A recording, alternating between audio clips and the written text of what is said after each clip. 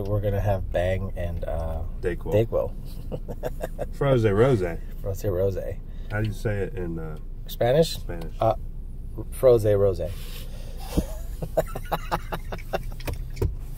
oh yeah. Trying to get that sponsorship, you know I'm? Oh. Fuck yeah, let's go.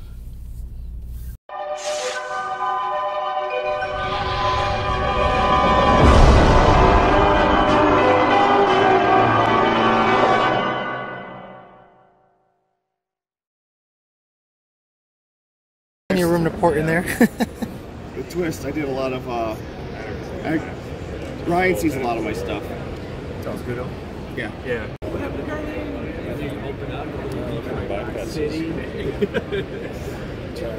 How you guys doing? Good, how you doing, sir? We're giving away a differential of uh, I can scan your uh, badges. Sure, why put not? You in the, Why the put heck you in the game. Why the heck not? All right. We're interested in that three. Whatever the next one is. I know Oh, it the was next one? the Oh, next yeah. one. Yeah, exactly. Is it going to be a top? You said three two. I heard three three. You said three five. Does that Three spin? five or something? No. we okay. like that. Gotcha. Gotcha. Exactly. Ah! Does this look restricted in there too? It's it's this way. Yeah, it's cut. It's that that's cut, so it's this way. It's bottom and up, bottom up. Yeah, the way it oh. flows through it. Yeah, not through it. Yeah. I Doesn't. get it now. Yes, I- So ours like a one bar. Yeah. That's the PRI special one. Yes, I think I would love to. How much jump to take out down in there? A ball bearing. Greg, Greg. yeah. Oh, yeah. Greg. Really good. Yeah. A ball bearing. Yeah. He ports the blower. So. Okay. He actually used to work for me. He was a sales guy and a calibrator, and he's heavy on the GM because he had a ZR1. So our uh, authorized rebuilder supercharger online is now getting getting imported. So we can always try them too. So you the two flared ends sit on the mandrel, and you get your offset, and as soon as you get it where you need to, that clamp goes on the outside of it, you tighten it down, and there's no leaks. Wow. So it's a nice, completely smooth surface. This has a really nice smooth surface to it. So as soon as you tighten it down, it's an instant seal. For those of you that want to know what I run in the Fairmont and what I run in the S550, this is the gives you a little bit better than a at PRI. Perfectly square, and it takes up a lot less space. 'Cause when you look, There's if you want like that, Jim you can run this one. talking to senior. Maybe we can drop off the GT500. Who knows? Right. wow. Tell me about tell me about the cast primaries. Like, what's so distinctive about those? Because I've seen like Kooks and ARH not used. Like, I'm sorry, this stuff, the flanges, like the cast flanges. Like, what's the advantage of running something like that as opposed to the conventional stuff? So, a couple things on the casting flanges.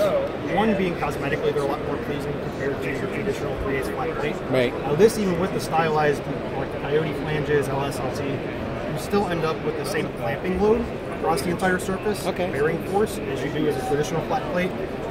But it also acts almost like a minor heat sink. So the actual webbing actually helps pull a little bit of heat away from the cylinder. Oh, gotcha. But you also end up with no bluing. So like on a motor where it's been run, kind of see it here. Um, the tubes will actually discolor, but the flanges stay still cast, they're still polished. So cosmetically, it's another little pop factor. Gotcha. That's what the first guy told me. He looked at the header. He goes, "Look at those flanges," and I and I, I don't know enough about Yeah. aesthetics. It's the Fairmont, so people go, "Oh, that's a really nice looking header." I'm like, "Oh, okay. I guess that's like a thing." So And it's kind of our wow thing, right? Because like a lot of guys, like Stainless Works and Kooks and those guys, they all do their little stainless tags. They they, they uh, tag on them and tag in place. Ours, we don't need it. You see our flange, and it pops instantly in your face that that's an ultimate header. Mhm, yeah. It's it's it's our signature, right? And that combined with the different tubing and then the cast elbows lets us do things differently and package things in this entire areas that most people recognize. What is? These are the different finishes that are available with Ultimate Header, and that's the one to get, in my opinion. If the GT500 is going to get a finish, this is the guy. I forget. I'm to talk to the guy and see what he calls his finish, but that's what I got in the 19, and that's what I think Lund Racing should get in their uh, GT500 if they go with an Ultimate Header. So, yep, there you go. Looking how the flanges don't discolor. They stay the same color and the primary changes. So it's like a showpiece for them. And it said it's like a heat sink where the flanges act like a bit of a heat sink to get the heat away from the cylinder head slightly based on their design. And as you can see, the primary are nice and tight up in there. Very cool. Yeah. So the nice thing we were talking about is that uh, the cup holder is now perfect because there's no shifter. Yeah. What do you do with your hands at this point? They should have a handle, like a full handle. You know who should come out with a full handle? MGW. They should just have it there to hold. Because they'd be the best at it. Or Scudo replacement ring. Scudo ring, uh, ring bezel replacement. Uh, Can yeah. what is all this stain? Is that coffee stain? No, that's water. From what? Not from me. Is it leaking? Man, what is it? It is Yeah, water. It's water. I think it's from my jacket. Uh, We need to get the font changed. can Scudo make a American flag centerpiece for this? With a skull? Ah, there we go. this will not be on the Lund Racing one. Hey, look at the speed. 69. Oh, yeah. Can we make everything go 666? So the gear 6 and 66 mile an hour. 6, and let's slow down a little bit. One more. Oh, wow. Oh, my God. go to another dimension. ah, we're children. We're children. Let's kind of go through the car to show you things I noticed. Has a taller paddle, so the paddles are taller. Um, much glossier. Insert here.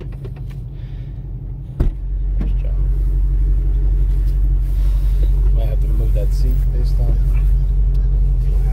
Oh, just kind of going through like what we find different with all the stuff. You adjust the. Huh? You gotta What? What? track apps. Oh, he wants to hear it? Oh, wow. Let's go to fucking six grand, bro. 3200. That's as high as it goes? Yeah, so we'll have to see if we can tune that out. Okay. and then, Um, I gotta get all my truck keys and crap, so we'll just go to their house first. Say hi. I don't smell oil. I don't know why you think this is so funny. Because it, there's a white guy listening to a little baby driving a GT5, GT500. It's great. I guess I should leave my seat back a little more. Is that a stereotypical comment? What Whoa. Crap is it? He's saying the hard R's. I, I don't, I'm not comfortable with that. Did you lean the seat back? No, stop. I'm a mile I didn't, I didn't do a goddamn thing.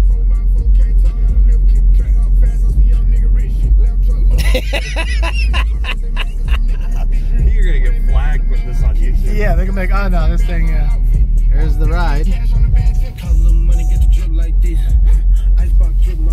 Ten bucks says I have it lined up perfect the first time. Boom. Let's see.